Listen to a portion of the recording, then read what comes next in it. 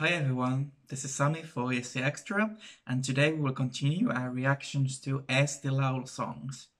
Today we will react to Koit Toome's entry We Could Have Been Beautiful. Before the video, don't forget to subscribe and press the notification bell so you will get notification on all our videos. But let's go and react to the song by Koit Toome.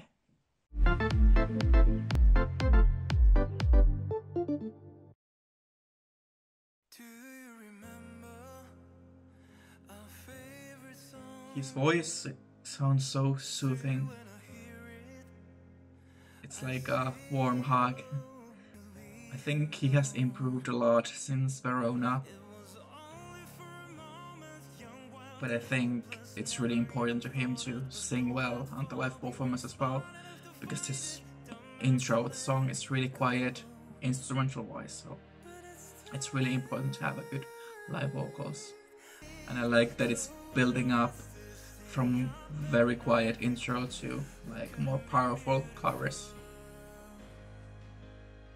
And as I said, his voice sounds so beautiful and so different from Verona. I really like the beat, it feels like a heartbeat uh, on the song. As I said, it's really important to him to sing well on the live performance because this song it's so much about his vocals that falsetto sounds amazing on the studio version. So let's see how it is on the live performance. I already mentioned this on other video, but I love the marching drums.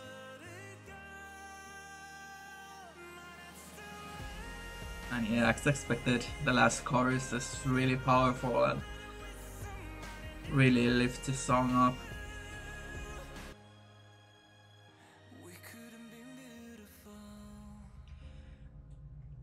I think this song could make a great entry for Estonia in 2021. As I said, his vocals are amazing. It's really different from Verona, so maybe people who expected something similar from Koit are disappointed, but I'm I'm really happy with it. And as I said, it would be really good to see this song representing Estonia in Rotterdam. I think it would do really well especially with the juries, if he nails the live vocals and if the performance is something um, different from just him singing and maybe playing piano or something. I think also the televoters will like it. Well, that is what I think, and let's hear what uh, my colleagues at ESC Extra think about this song. Welcome back, Koit Toome. Um, about the song, um, it's actually I actually prefer it above uh, Verona to be honest. Um, the song is actually very decent. It's one of those kind of ballads I actually can appreciate.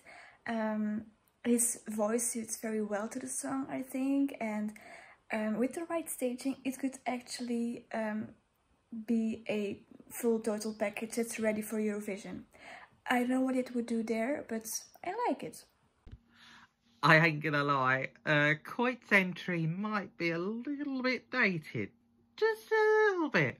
It's trying hard to be modern sounding, yes, but yeah, it's um kind of 2008, kind of 2000, been there already.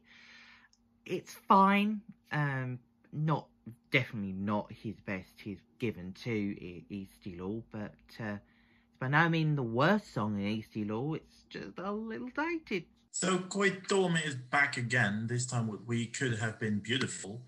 And to be honest, I am pleasantly surprised. I think he has managed to come up with a good song.